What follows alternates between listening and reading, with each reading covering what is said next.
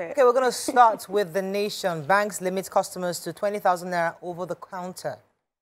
Foreign airlines trapped cash now um, $743.7 million. Lady kills landlord over electricity bill. Global crisis likely with collapse of two U.S. banks.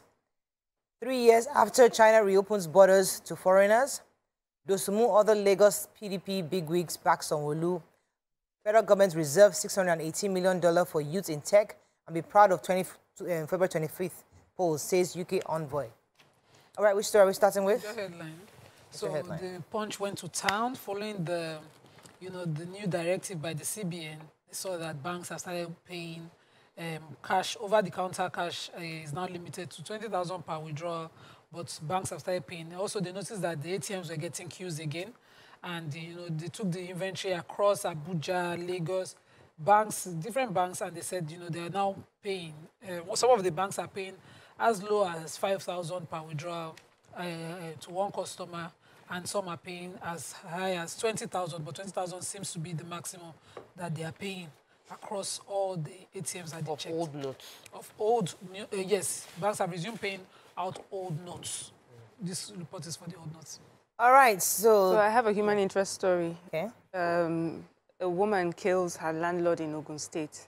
So a 33-year-old lady, Ifeoma Ossai, uh, has been arrested for allegedly killing her landlord. They said there was over a minor difference in their bills, um, electricity bills. They said the landlord came over and then she um, grabs the landlord by his private parts, drags him until he falls to the ground.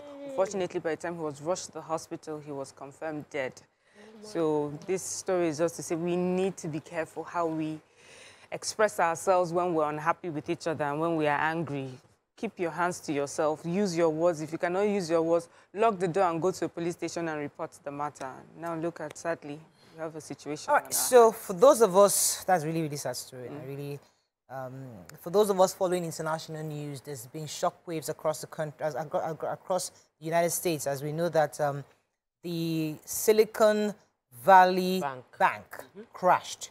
uh, they said about $100 billion has been wiped out of the U.S. banking system following the collapse of the Silicon Valley Bank.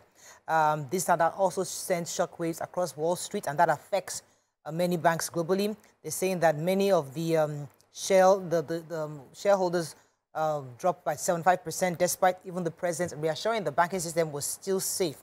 Major U.S. banks, Wells Fargo, Wells Fargo, Citigroup, many of them had plunged. J.P. Morgan down 2.7%, some down 7.4%.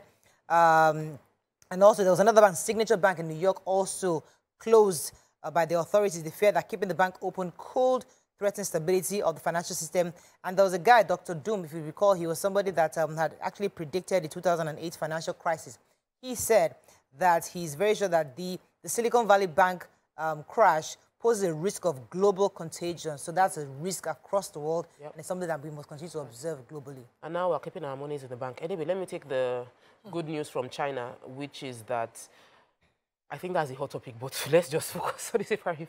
China reopens its borders. Good news. 2020 was a major year, affected everybody, but China locked their borders March 28, 2020, and since then, their borders have remained locked until now. Good news to those who already, who had previously gotten multiple entry um, visas to get into China. They said it's still valid till now, and China is announcing that they want to restart, um, well, they want to um, revive their economy. China is the second, world's second largest economy, and its dom domestic tourist industry um, has been stopped for the past three years, and they're expecting to revive that. The entire world is still trying to recover from what happened with China because there's still shortage of some goods um, across the world. So we're happy that Great. China is getting themselves together. The Punch. Naira crashes, banks ration old notes. NLC insists on seven-day ultimatum. Review a thousand Naira and NIN fee Council tells NIMC INEC will prosecute electoral offenders with speed, says Yakubu. Or your SDP candidate withdraws and backs Makinde. Fuel price hike imminent over the power supply marketers won. Dollar shortage, banks slash travel allowance and foreign school fees. Almost a 13 million cyber attacks recorded during polls, says federal government. And uh, foreign airlines trapped funds hit $743 million, says IATA. Okay, which story are we starting with? Okay, so um, yesterday I took the NIN story where I said that they'll be charging 1,000 naira right now if you are going to collect for collecting your passports. But um, the Presidential Enabling Business Environment Council on Tuesday called on the National Identity Management Commission to review its in, um, this new fee that they have um, put across Nigerians and other African countries. And they're saying that um, that this would not, that first of all, they said that um, PB, PEBEC has taken note of this announcement by NM, NIMC, and um, for them, they feel that this would affect, you know, the way that people are doing business in Nigeria. But they also brought to their attention the fact that this particular agency that was um, put together is supposed to, um, MDAs, that's ministries, departments, and agencies are supposed to, you know, confer with them on issues like this. Um, they're supposed to have like monthly um, um, reports that they make to this um, to the agency, but it seems like this was done away from them, above their heads, and so they're saying that they think that they should reconsider it, even though they understand that it's supposed to make for easier um, collection of passports and better services. Right. They do not think that that 1,000 naira would um, sit well with a lot of stakeholders. Okay, another story in Punch. petrol story. So, according to IPMAN, we have another crisis looming, and this is, of course, because of the NNPC's inability to provide enough um, product or widen the, the gap of uh, supply. So, according to the National Publicity Secretary, uh, pub, sorry, National Public Relations Officer of IPMAN, Chief Ukadike Chinedu, he says that the NNPC had, and um, its retail subsidiaries across the country are the first point of the contact when it comes to delivering of petroleum products, and they are not spreading the delivery to the exact number of trucks of fuel that are meant for the independent marketers. They said that with about 3,400 tickets lying around waiting at the NNPC retail account, they are not getting enough supplies. And until the NNPC has finished loading products to its own outlets before they attend to independent marketers. And he gave example of what is happening across the country. He says 80% of filling stations across the country are owned by IPMA members, and it's surprising that the NNPC is not uh, supplying petrol to IPMA members as first contact. As at this morning, trucks are lined up all the way to Niger bus stop on the Badagry Expressway from the um, Trade Fair bus stop, and they're on both sides of the lane. So whenever I see those trucks, I know that uh, another crisis is looming. But I hope that you know they conduct themselves properly so that those of us on that side don't start to pay the price for the consumption of fuel across the country again. It happened in December last year. It was not good at all. Okay, let's move on now to Daily Sun. Actually, I thought I had a story here.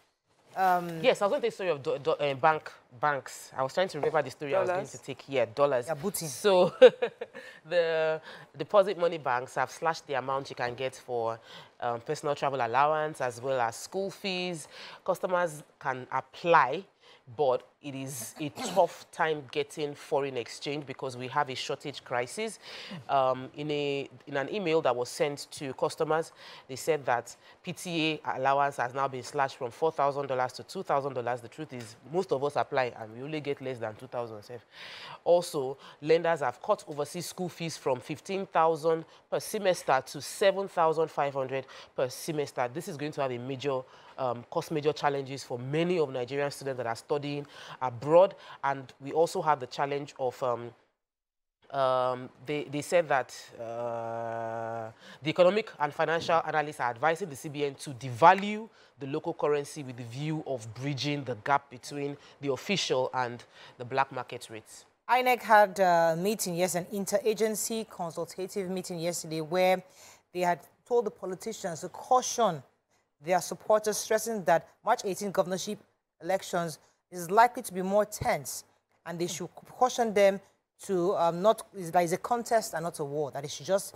take things easy, and that he has instructed that um, INEC must set up a legal team to speedily prosecute any electoral offenders. So they're not going to drag it. They're going to be a speedy process, and they're going to ensure that um, that you know all those who are planning some kind of um, disruption of the polls will be quickly prosecuted and sent to jail.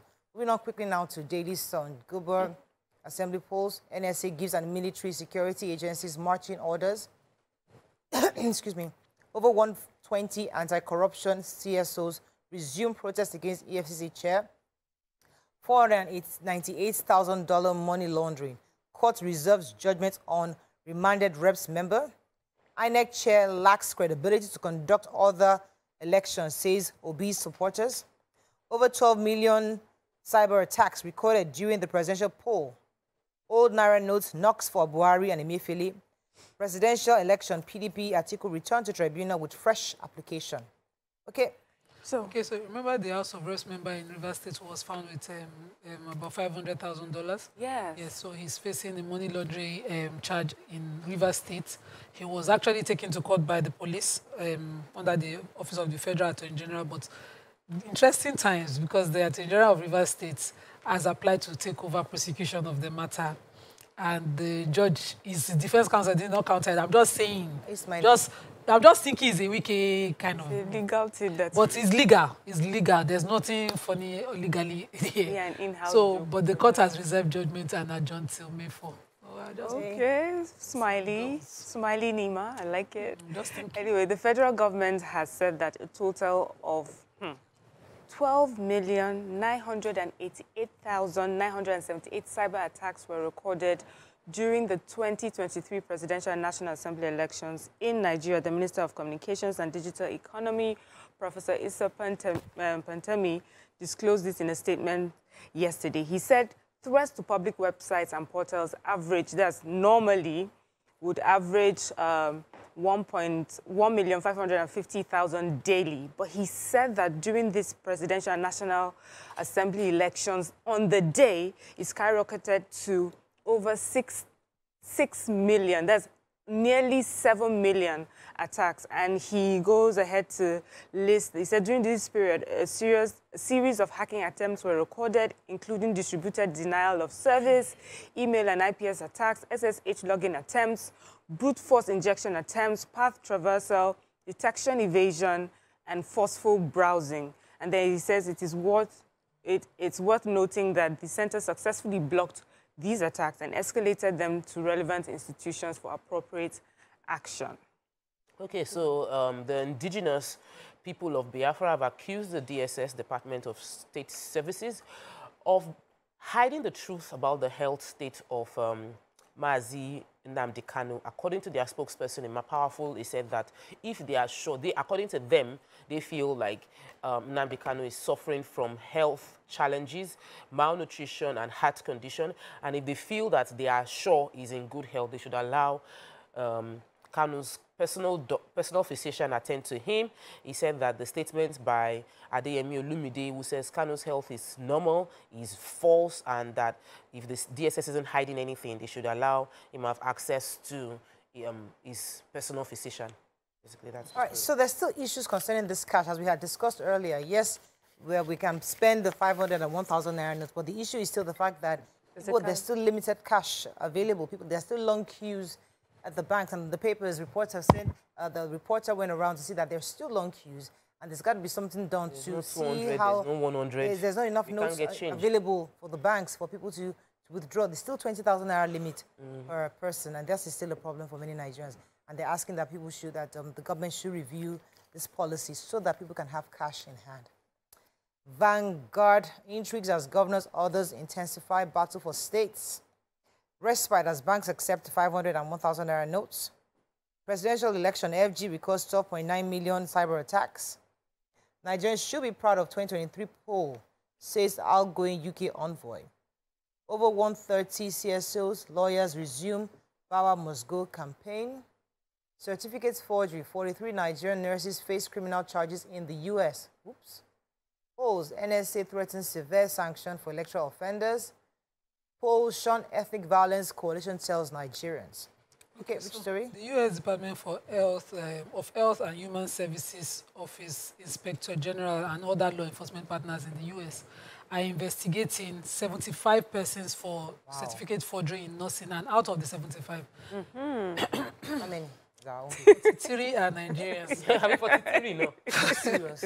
43 are Nigerians, and um, they said this, there's a scheme in uh, alleged scheme involved uh, um, in the selling of fake and fraudulent nursing degrees, diplomas, transcripts obtained from accredited uh, Florida-based nursing schools to Yeah. registered nurses and licensed practitioners in the country, and that um, even though the, it's called an operation, Operation Nightingale, even though those nurses are allowed to practice, they must probe their certificate, and if they're found, they, they, they stand the chance So, of yeah, winning. ag- agencies selling certificates to Nigerian nurses I of mean, or investigated and they found that they sold sold to 43 Nigerians Oh. who are also using So it it. wasn't like the Nigerians, it's an It American, American uh, agency. So it wasn't like that we are just It wasn't like recipients of this yes, guy's fraudulent yes, activities. Yes, I want they to are the ones that selling. It's not, it's not our idea. I'm Yeah, just yeah. hoping. Ah. We are still investigating. Yes, sir. sir. If you use fake documents, you You must might not have know no. fake. You, they Wha- paid well, for no, it no, now. no. You would know. No, no. go to school. You will know that it's fake. No, you, now. you, they do courses The online. do- no, no, no, no. The documents is to show that you have gone to nursing school in some of these institutions in Florida, and you did not go to nursing school in Florida, and then you not come and say that you did not know when they gave So you. we have, so Whatever. there- there's two sides to be fraudulent. But you know, ah. there's a, the, according to the report, giver. there's another exam they do to qualify. So they have their certificate, mm. and then they'll take exams in the states, Yes. different states, just as we do in Yeah, law. yeah. Mm. There, they have different states Yeah, qualification exams they will do again to mm-hmm. qualify. Right, So most of them are eligible to work with that second Yes. one. Oh, okay. But that Initial first one, they're probing. Mm-hmm. All They right, another story. we have the outgoing um, British High Commissioner in Nigeria, Catriona Catriona Laing, has said that there were setbacks in the Saturday, February 25th presidential and National Assembly electorates, but that there were also positive developments. And she says that um, she's been here since the 20, um, that she has seen a remarkable difference since the 2019 elections when she arrived. And she says, yes, there, there, there are some disappointments, but, you know, largely Nigerians should be proud that we have shown um, progress, and it shows that we're, and progress in the right, of course, progress in the right, in, in a positive way. And she says, we're the largest democracy in Africa. African countries are looking up to us. So, and then she also says that we're resilient people, and you know, this proud of I'm very proud of us. and um, our own uh, president of the Senate also said, as you know, Nigeria and Britain, we have come a long way. You know the usual Nigerian Yeah. British story. So, Okay, so um, leaders of the ethnic-based organizations, civil society, cultural, artisan, faith-based community groups yesterday expressed their worry over what they described as um, a slide into hate and disdainful, provocative statements by the political and social media actors. And they're saying that as we're going into the into um, the Saturday elections, we must avoid anything that can spur ethnic violence and conflict across Nigeria. And they're also wanting political parties to sheath their swords and allow peace to reign as we round up to the governorship and House of Assembly elections on Saturday. Moving on quickly now to the Nigerian Tribune. Let's find a story of not taking governorship poll more complicated than pre- presidential, says NSA. Banks comply with CBN directive. Um, landlord dies after tenant drag squeezes his manhood over electricity. Yeah, I took it already. For electricity bill. Homicide. Oh, that's the story you took. Homicide. Police declare Bauchi lawmaker wanted place for a million naira bounty on him. Um, presidential election, 12 million attempts made to hack Nigerian cyberspace. Anxiety as FAO releases food security nutrition assessment in 26 states. Rule of law. Over 20 anti-corruption CSOs international lawyers insist Bawa must step aside. Okay, which story? Yeah, so the force headquarters uh, has declared a serving member of the House of Reps representing Bauchi Federal Constituency, Yakubu Shehu Abdullahi, wanted. And the lawmaker was declared wanted by police for alleged criminal conspiracy causing grievous hurt, disturbance of public peace, and um, culpable homicide.